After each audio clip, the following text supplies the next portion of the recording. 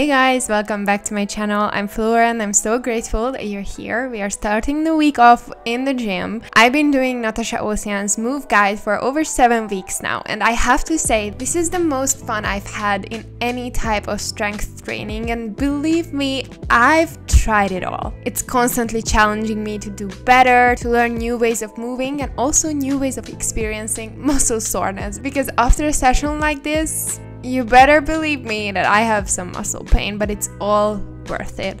It's really fun to see how much more my body is capable of and how most of the time the limits do not come from a physical barrier but a mental one. When I want to give up in my head, I know that my body is only at 40 to 50% like David Goggins says. And to push further and evolve, that is when I have to keep going. But I know when my body says it's enough, then it truly is. And this is what I've been trying to follow and it's changing the game for me. Lovely stuff. Woo. Running is my enemy because I'm not good at running. But I really want to get better, I need to practice. Let's go home. Breakfast that day was amazing. I made some blueberry compote from just frozen blueberries, some agave syrup and lemon zest. I've been seeing whipped ricotta everywhere on social media, so I just had to give it a try and make a vegan version. This turned out so good. It's from firm tofu, coconut yogurt, agave syrup, lemon juice, lemon zest, and cinnamon. I'm so excited. I had it with this amazing blueberry compote and I literally couldn't get enough. I had to go for an extra slice of bread because it was just super duper yummy.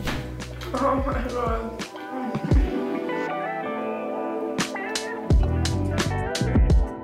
Have another one. For lunch, I made an easy pesto pasta salad. I started off by cooking some whole grain fusilli. I'm soaking my garlic because it can remove the bitterness. I have some basil, which is like loosely a cup.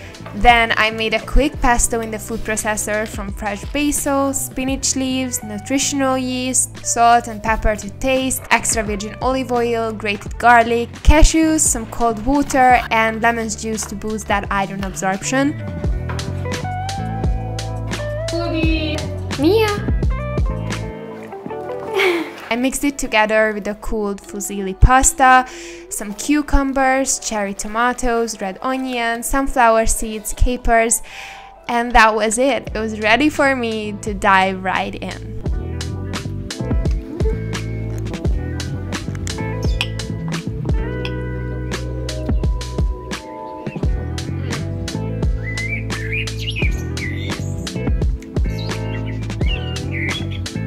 I have to show you my new set because I love this so much. I got this from Pull and Bear. I'm, I'm in love.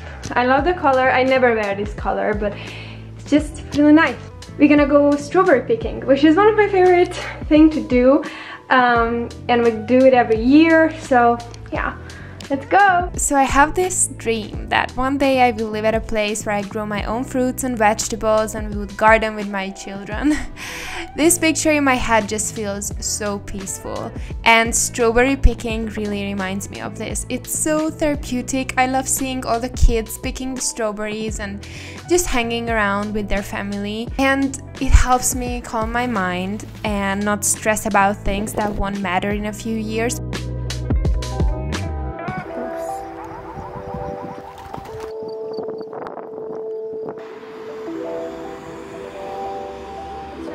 Then I went for some pizza and yeah, I get it. It was a really Italian themed day. But I'm not mad about it. Maybe it was unconsciously on purpose because I really want to travel somewhere, but because of my dissertation, I cannot do that for a while. But yeah, this place serves amazing vegan pizzas. If you're ever in Budapest, definitely try this place. I had a margarita pizza with some vegan mozzarella, capers, and olives. It was an incredible meal with incredible company, and summer is also here, so really no reason to complain.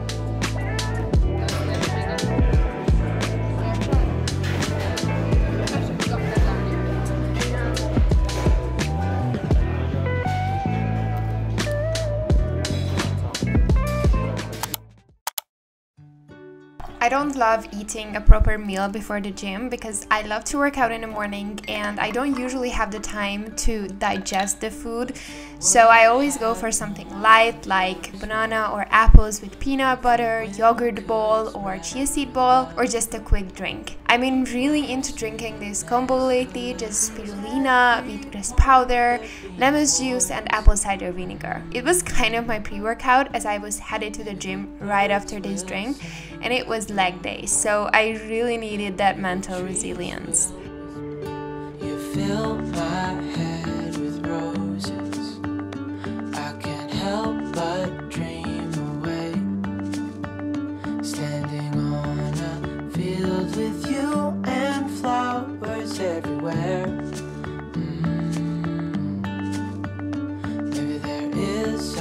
I really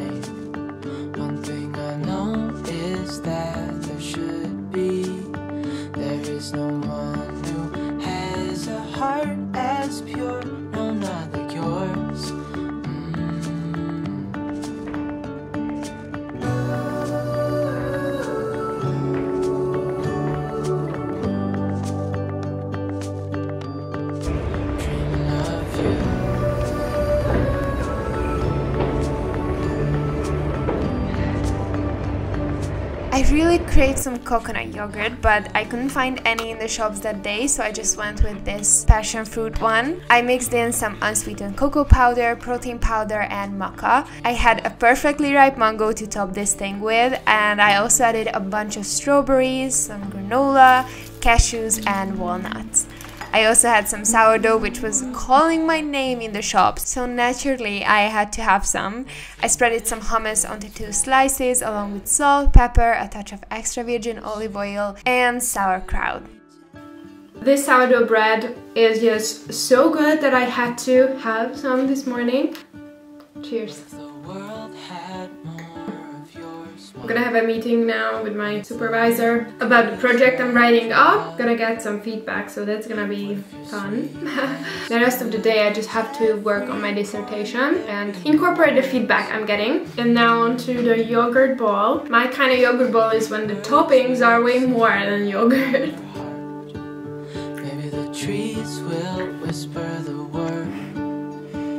Maybe the sun will spread your joy to the ones who lost their hope.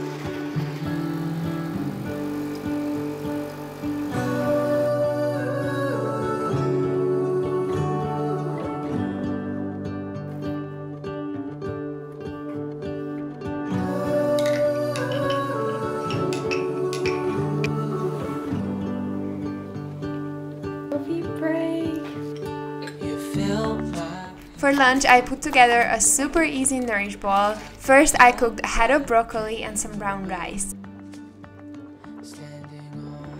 I marinated tofu in olive oil, curry powder, soy sauce, rice vinegar, garlic powder, chili flakes, and sesame seeds. And then fried these on the stove for around 5 to 8 minutes until all the sides became this nice golden brown and the kitchen smelled absolutely amazing. Then I put together my bowl from brown rice, broccoli, tofu, some pickled cucumber slices, onions, and half an avocado. I sprinkled on some more garlic powder, added a splash of extra virgin olive oil, and enjoyed my delicious meal. Guys, I reached 10k! I've been dreaming of this moment for so long. Never actually knew if it was gonna happen, so it's like, ah! I'm so freaking happy and grateful. Just thank you. Thank you so much. It's so easy to compare myself to bigger YouTubers. Like, takes all the joy. So I want to remind myself that this is my journey and I, I get to live it however I want to live it. And this for me this is a huge accomplishment so not like you need an occasion but I'm gonna bake a cake now I love crepes so I'm gonna make like a crepe cake yeah I have a lot of strawberries so we're gonna whip something up from that. And this crepe cake is actually super duper easy to make. The biggest downside is that it's time consuming because you need to fry each crepes individually. But trust me, it's so worth it. All the measurements for the batter is down below if you want to give it a try. And to not be bored, I was watching Emily in Paris meanwhile frying my crepes.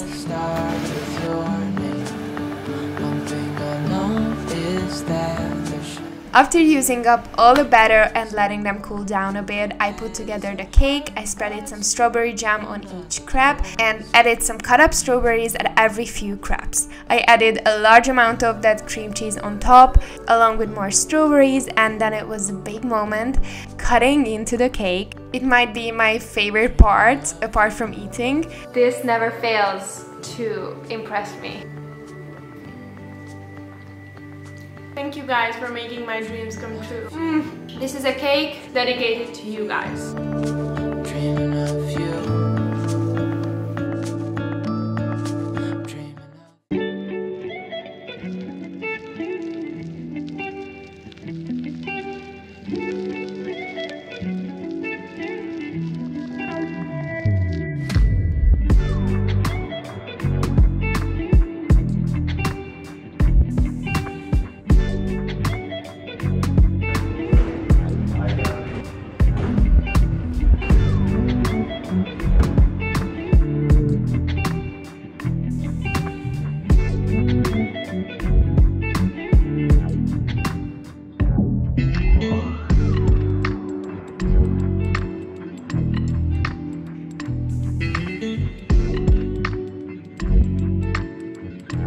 That day for breakfast I made some mushrooms on avocado toast. I fried them with curry powder, garlic powder, soy sauce and a little bit of olive oil for around 4 to 5 minutes each side. For the avocado spread I just mashed a ripe avocado with extra virgin olive oil, garlic powder and nutritional yeast. What a color! Oh my god. I also made a quick smoothie from banana, frozen pineapple, frozen raspberries, maca and protein powder, flax seeds, and soy milk. Ooh. Mmm. Delicious. These look so appetizing. Mmm. This is my favorite kind of way of eating mushrooms. So yummy. Oh my god, how can you be so cute?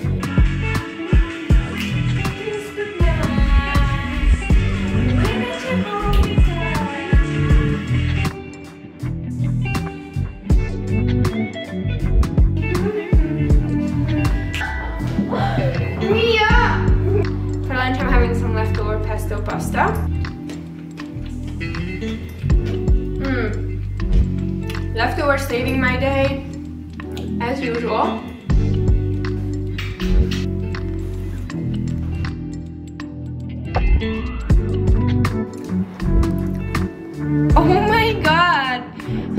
How can it look so good? Need to eat some cake!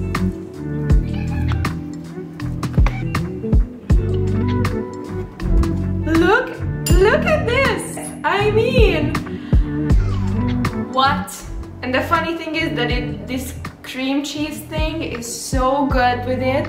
I didn't even plan to add this, but I had it, so I added it and it, it levels the thing up, so.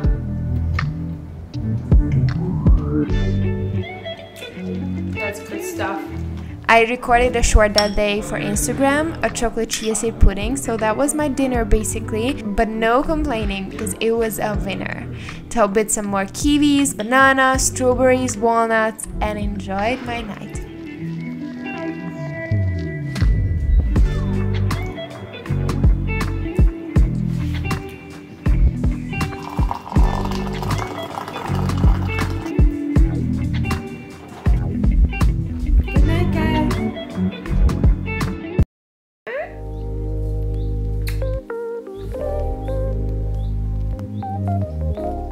Next morning, I was in the mood to eat something small before my workout, so I had a super quick yogurt ball with granola and strawberries.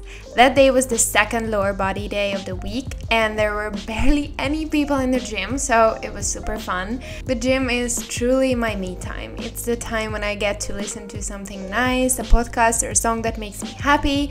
I get to move my body and I get to take up space. I get to have time for myself, which is so needed because I sit in front of the computer all day and it can get pretty overwhelming. So the gym time is kind of like an escape time.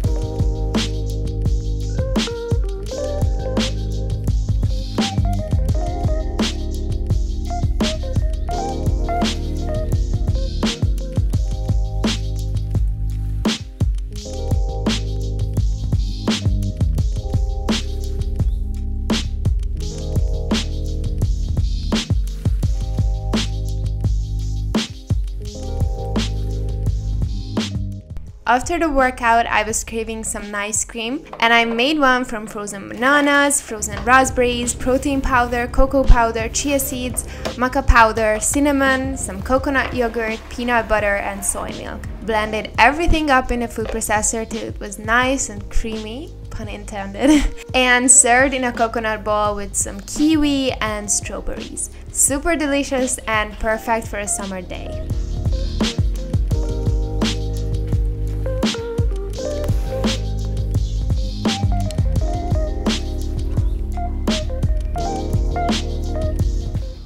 For lunch, I made some really yummy sweet potato and potato veggies in the oven. I also added an onion and seasoned the whole thing with curry powder, smoked paprika, pepper, salt, garlic powder, olive oil, mixed everything well and baked these in the oven at around 180 Celsius degrees for around 25 minutes. Meanwhile, those were baking, I put together a very easy vegan patty. I use chickpeas, firm tofu, fresh parsley, lemon juice, chickpea flour, onion, grated garlic, as well as some olive oil. Looking so good. As seasoning, I use salt, pepper, curry powder, smoked paprika, and garlic powder. And then just blend it up, the whole thing, using the food processor. Then I roll them into balls, flatten them with my hand on a parchment lined baking sheet, and these went into the oven as well. To boost the nutrient density even more, I made a quick cashew sauce, and then I just assembled a little bowl out of everything. Started off with a large handful of sorrel, squeezed on some lemon lemon juice, topped with the potatoes, poured over the sauce, and finally added the patties.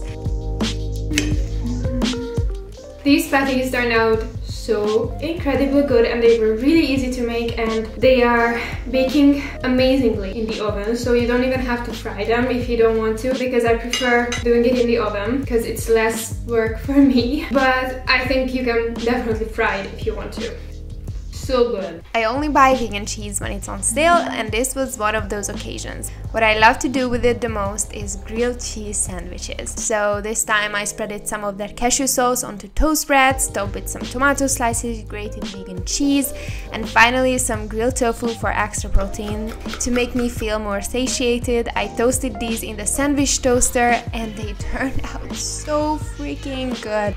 How amazing with the cashew sauce. This is like next level thing.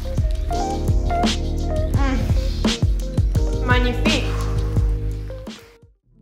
The next day, I had some extra time because I didn't go to the gym, so I made waffles. Waffle time! I blended together banana, cinnamon, protein powder, oat flour, oat milk, peanut butter, and baking powder. Once it was nice and smooth, I fried them in the waffle maker. Of course, you can make these as pancakes. If you don't have a waffle iron, I think it would be just as incredible. I topped these beauties with coconut yogurt, some stewed berries, and peanut butter. Wow, it was so incredibly good and easy to make. I had the best start to my day and it was super satisfying.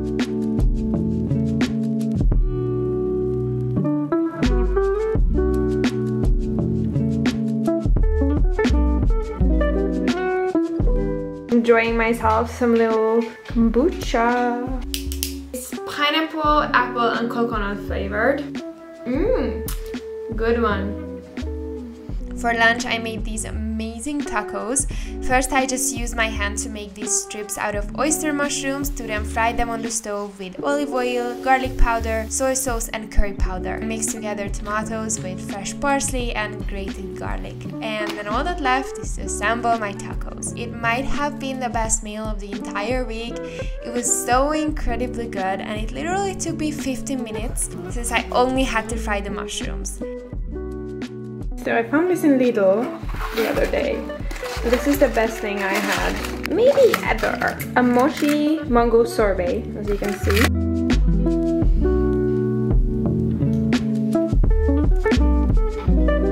Mm. Everything about this is a 10 out of 10. Hmm. This reminds me how many things I have never tried food-wise. It would be so cool to have the money to just travel around the world and try different cuisines and experience food in a whole other level. This is one of my biggest dreams.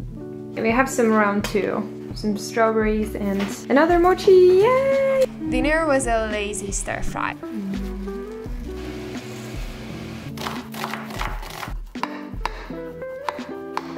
I cooked some soba noodles and then I fried some onion, garlic and ginger on the stove, seasoned with garlic powder, curry powder, smoked paprika, salt, pepper and soy sauce. Added the mushrooms and shredded tofu and let them fry away. I then added spring onions, corn and finally mixed everything together with the soba noodles. I topped my plate with some sesame seeds and added sauerkraut as well and that was my dinner.